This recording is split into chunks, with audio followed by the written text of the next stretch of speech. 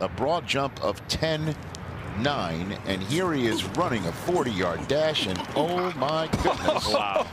It is full Moses Malone. Uh, 4 4 4.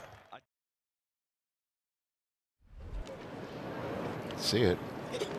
oh my gosh.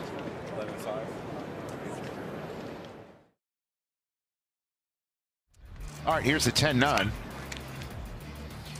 Oh my goodness gracious. That's a quarter. Right, we're here at the combine. It is Anthony Richardson, quarterback out of Florida.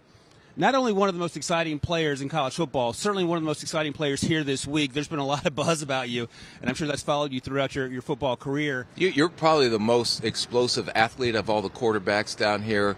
The quarter. Since the season ended, what have you worked on to try to improve on, both for here at the combine, but also for your next, you know, the next phase of your career as a professional? Where do you think you need to hone in on to take it to the next level? You know, uh, I'm always big on you know growing and getting better at everything. You know, so I could write down a whole list and tell you what I can get better at. But the things I focus on the most were my footwork and my, my mechanics. You know, being consistent with that, I feel like that pretty much helps me throughout everything on the field with accuracy, consistency, throwing, and just delivering the guys, li- delivering the ball to my guys. Well, now, So the- who do you view your your You can't game say, you can't say Bryce Young.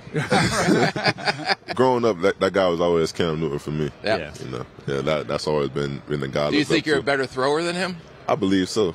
Yeah. You are coming out. I think so. Would you agree with that? I agree with that. Yeah. Everybody wants to make the Cam Newton comparisons because of the size, the athleticism, how you make plays with your feet. But I think he's a better thrower coming out than Cam Newton was. Eat him! Eat him! Eat